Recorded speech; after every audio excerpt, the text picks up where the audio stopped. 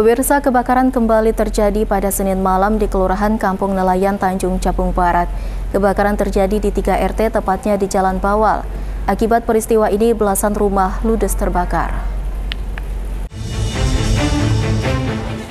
Beginilah suasana kebakaran yang terjadi di pemukiman padat penduduk, tepatnya di Jalan Bawal, Kelurahan Kampung Nelayan, Tanjung Capung Barat, pada Senin 20 Juni 2022 malam.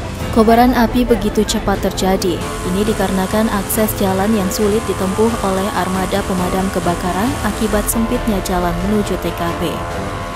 Arba ini Ketua RT 4 Kelurahan Kampung Nelayan mengatakan, pada saat kejadian ia sedang berada di dalam rumah dan mendengarkan teriakan warga yang sontak membuatnya terkejut karena adanya kebakaran.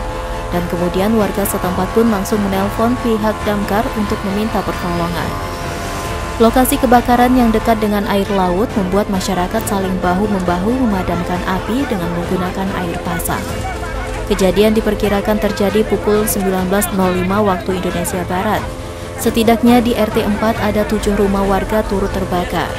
Atas kejadian tersebut, ia berharap kepada pemerintah setempat untuk menyediakan alat pemadam di area pemukiman padat penduduk kebakaran tadi itu kan asalnya apinya kita tidak tahu bang. Nah, setelah apinya membesar baru maka itu kita kejar untuk menyelamatkan itu kan. Jadi kan airnya tidak ada suatu itu kami itu kan menyelamatkan airnya uh, disiram.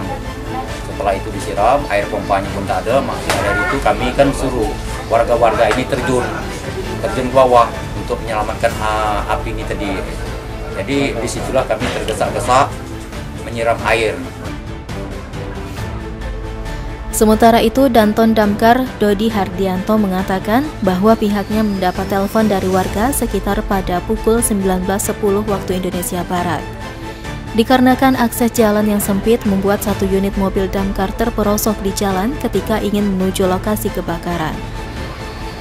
Dirinya menjelaskan rumah yang terbakar terdiri dari tiga RT, yakni RT 2, 4, dan 5, Api begitu cepat merambat karena rata-rata rumah tersebut merupakan bangunan semi permanen. Beruntungnya dalam kejadian tersebut tidak ada korban jiwa, namun kerugian ditaksir mencapai ratusan juta rupiah.